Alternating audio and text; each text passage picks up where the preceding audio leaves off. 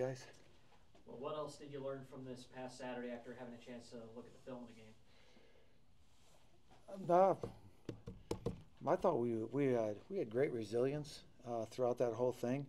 Uh, felt we did some really good things. Harrison uh, really ran well. I thought he was the difference in the football game, quite frankly.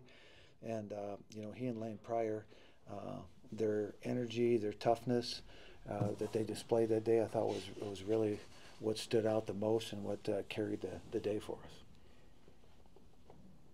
If you could expand on Harrison a little bit, what do you, what do you think that he brought to the team, and, and also on that, how long do you expect Ty to miss, if at all? Yeah, well, I haven't got the word on Ty yet uh, as of today, but uh, I tell you what, uh, what Harrison brought to the table is, you know, he really ran hard. He hit the hole at the speed you need to. Uh, then he got the extra yards after contact because of how he ran, and really set the the energy uh, uh, to the game with how he ran. So I thought he sparked a lot of things, and then he did it continually throughout the whole game. So that's Harrison, though. Harrison. Harrison came here and he did that last year in some cleanup roles, but this wasn't a cleanup role. This was in the meat of the game, and uh, for Ty to go down on the second play and then him to come in and do what he did was, uh, you know, a credit to him. But uh, definitely uh, was a huge part, if not the part, that won the game. You mentioned his power back abilities. I think we knew that he could be a powerful runner, but he showed a little breakaway speed with a nice 37-yard run and then a 26-yard touchdown run. He, he wanted to come, become a complete back. Is, is that how you would describe Harrison? No, that's what that's what. Yeah, it takes time to become a complete back. I mean, you got to display all those things and, uh, and protection as well. But he's doing that. Uh, he was he's always been great protection and, and, and great with the power runs. But uh, he needs to make the cut to make somebody miss to go get the make a five yard into a 15, and that's what he did the other night. That's why the more he matures, the more play he gets. Uh, he showed up and displayed that the other day. Certainly seems like the offense is playing a little bit more complementary football, getting a little bit more from the ground game in the last two two wins. What have you seen from the offense uh, from your perspective that's allowed them to find some success in the last two games?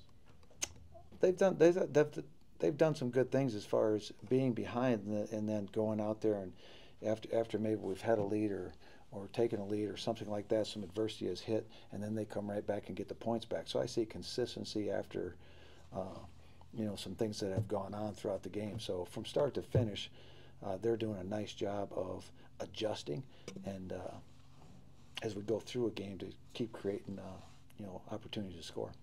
I asked you about last year's game against Indiana, Indiana State. Well, Sycamores trotted out the same kind of script where they try to play keep away. You mentioned that on Saturday.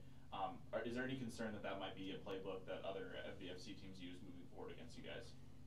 Everybody's different. You got to have the right kind of team to do that, and you got to have the right kind of patience to do that. So it was, it was, it was their way of doing things. It was their passing game.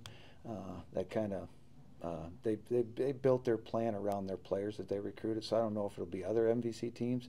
It could be, but uh, that's where complementary football is is making sure that you get the ball back for your offense, you get them in good field position, and uh, you know we did that at times on defense. We kept them under 100 yards rushing, things like that.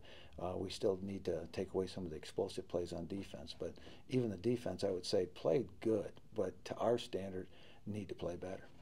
Good against the run this week. South Dakota State's an excellent rushing team. I mean, what what kind of challenge do they present? Oh, they're they're great. They're a great football team, hands down. Uh, there's a reason they're number one. The reason they won last year, I, I think their offensive line and their uh, their running back are outstanding, and then their quarterback is is is the type of player that really complements everything they're doing because he can throw and run. So even if you get the, the coverage, he can he can run. So they've got the quarterback run game. They've got the uh, great running back and actually two good running backs. So yeah, they've always that's how they've built their team over all the years, and they've always been good at rushing, and they've got a quarterback that complements uh, the great run game that they've always had. Last year, you guys played them to a field goal game here in your building. What what do you anticipate the uh, the matchup this weekend to look like? Uh, who knows how this thing will play out, but uh, we got to. Right now, as, a, as I'm sitting here on a Monday, going, what players will we have available this week? Coming off this last game, and we just got back late because we played the night game. So there's still a lot of things that we're finding out today, coming off uh, not getting back home till two or three that Sunday morning. So we got to kind of get our feet underneath us today, figure out what the plan is, and then move from there. No questions from the Norseman? no, I'm kidding you.